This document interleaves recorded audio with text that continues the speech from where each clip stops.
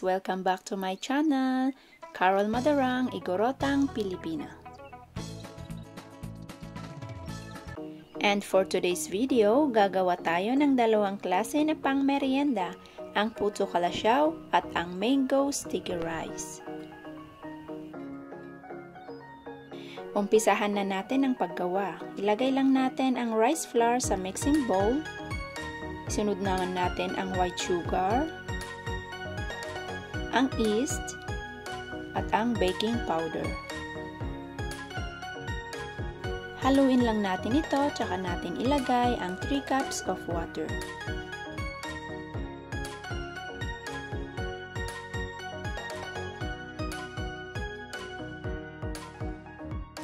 Ituloy lang natin ang paghalo hanggang sa lahat ng dry ingredients ay matunaw.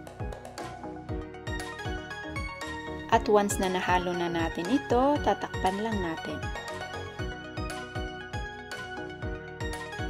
At ngayon naman, gagawa tayo ng water roux. Maglalagay lang po tayo dito ng rice flour at tubig.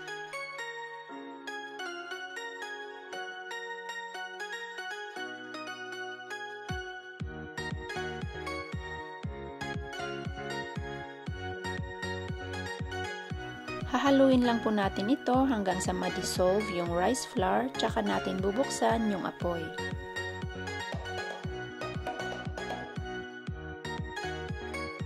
Ituloy-tuloy lang po natin ang paghalo dito hanggang sa maluto ang ating water roux.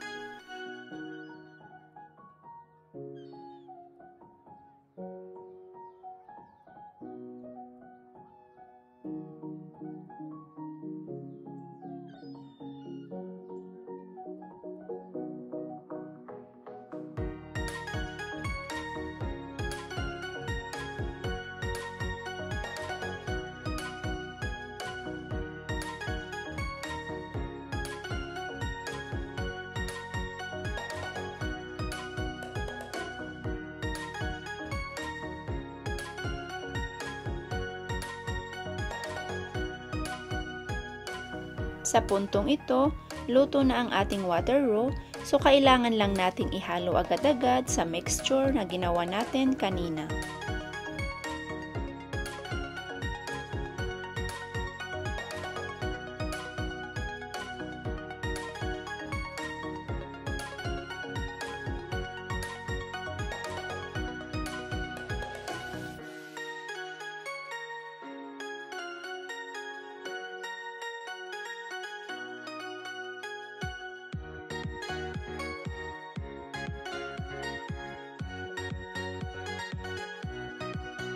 Haluin lang po natin ito ng mabuti, tsaka natin tatakpan at paaalsahin ng isang oras at kalahati.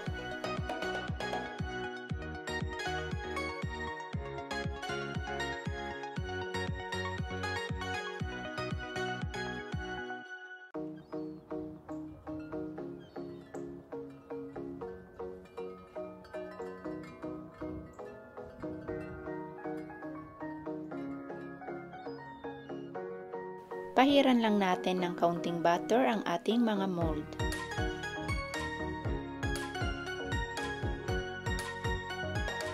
Pwede na nating salinan ang ating mga mold at i-steam po natin ito ng 5 minutes.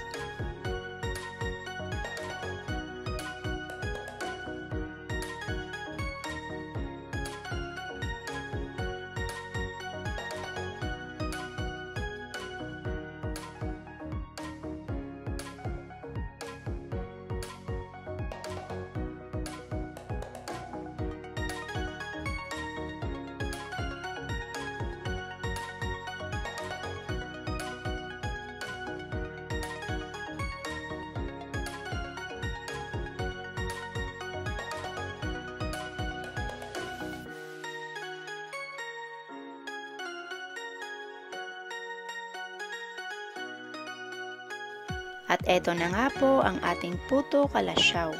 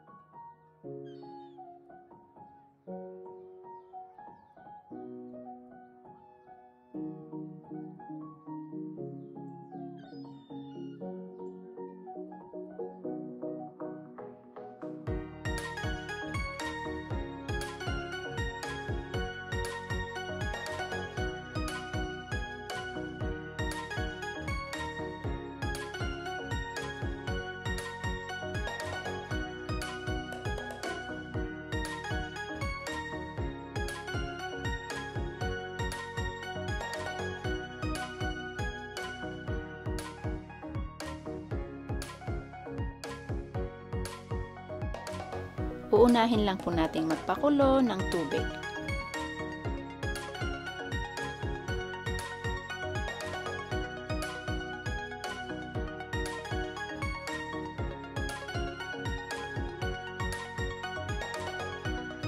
Gagamit po tayo dito ng rattan steamer. Banlawan lang ho natin, tsaka natin ilagay ang sticky rice.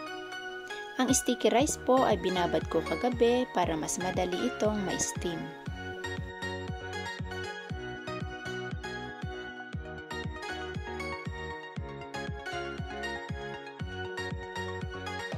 Once na kumulo na po ang tubig, pwede na po natin ilagay ang ating sticky rice. I-steam po natin ito ng 20 minutes. Habang hinihintay natin maluto ang ating sticky rice, magagawa naman tayo ngayon ng ating coconut milk.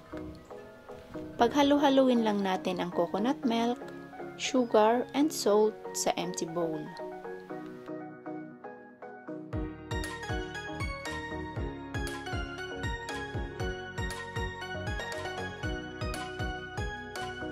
Haluin lang natin ito hanggang madissolve ang sugar and salt. I-check lang natin kung luto na ang ating sticky rice.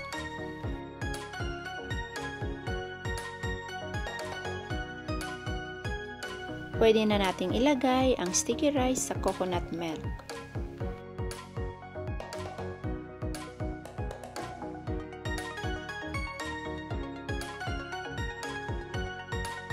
Hahaluin lang natin ito ng mabuti, tsaka natin tatakpan ng 45 minutes.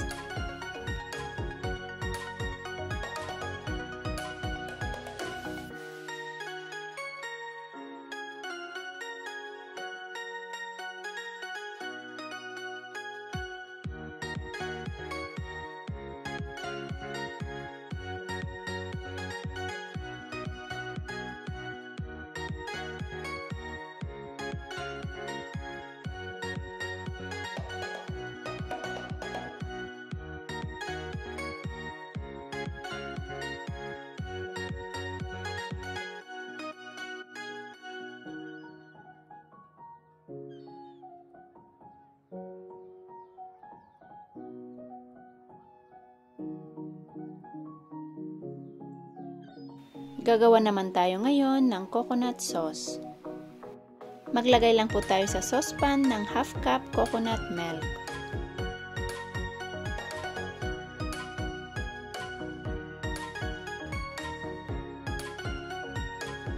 Maglalagay din po tayo dito ng dalawang kutsaritang asukal at kaunting asin.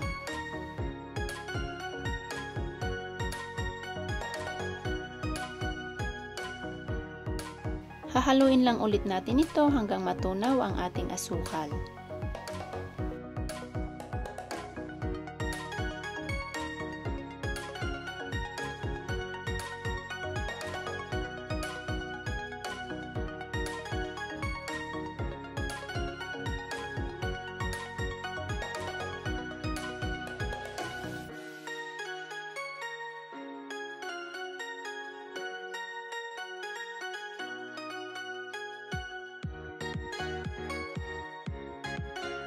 Para maging malapot ang ating coconut sauce, maglalagay tayo dito ng rice flour na tinunaw ko sa coconut milk.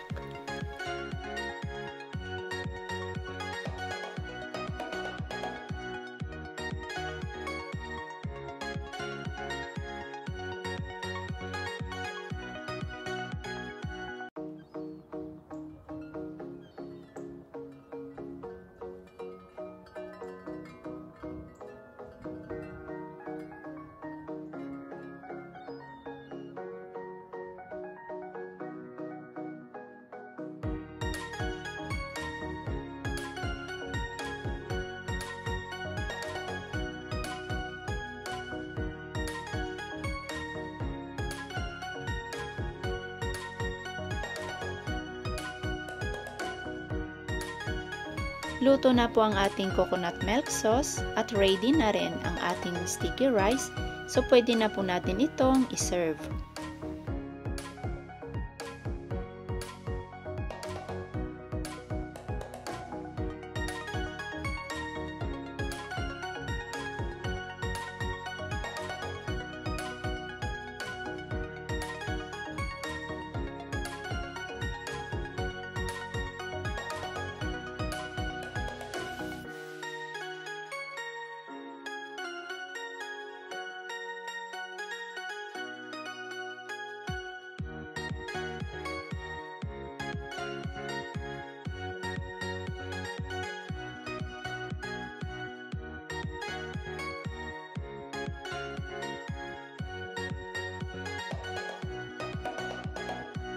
Maraming maraming salamat po sa panonood at magkita-kita po tayong muli sa aking mga susunod na video.